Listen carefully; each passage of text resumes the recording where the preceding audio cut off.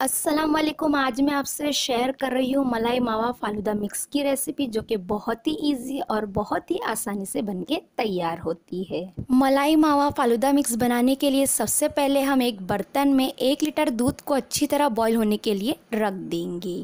जैसे ही दूध में उबाल आने लगे, अब हम इसमें मलाई मावा फालूदा मिक्स का पैकेट डाल देंगे। स्क्रीन पे उसकी फ़ोटो नज़र आ रही है। आप इसमें अपने फ्लेवर के कोई भी फालूदा मिक्स यूज़ कर सकते हैं। रोज़ फालूदा, रबड़ी फालूदा और भी बहुत सारे फालूदे के फ्लेवर आते हैं, आप अपनी पसंद से डाल सकते हैं। 20 से 25 मिनट अच्छी तरह पकाते रहेंगे। जब 20 से 25 मिनट हो जाए, गैस की फ्लेम को बंद करेंगे और इसे ठंडा होने कुछ देर के लिए छोड़ देंगे। देर के लिए उसे रूम टेम्परेचर पे ठंडा कर लेंगे। बाद में आप फ्रीज में भी रख के उसे ठंडा कर सकते हैं।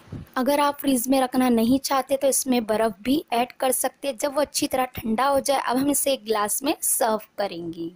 एक ग्लास में सबसे पहले हमने जो फालूदा मिक्स रेडी किए हैं, उसे डाल देंगे। बारीक कट करके इसमें मलाई कुल्फ़ी डालेंगे। इसकी रेसिपी मेरे चैनल पे अपलोडेड है। अगर आप देखना चाहते हैं तो जाके देख सकते हैं। या आप इसकी जगह मैंगो आइसक्रीम या वेनीला आइसक्रीम भी डाल सकते हैं। उसके बाद ऊपर से रू अफ़ज़ा डालेंगे और गार्निश करेंगे ड्राई फ्रूट से अपनी पसंद के।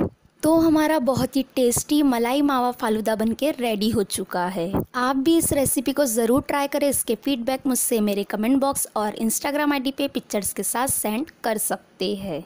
इंस्टाग्राम आईडी की लिंक मेरे डिस्क्रिप्शन बॉक्स में दी गई है, अपना ख्याल रखें और मुझे अपनी दुआओं में याद रखें। अल्लाह हाफिज़।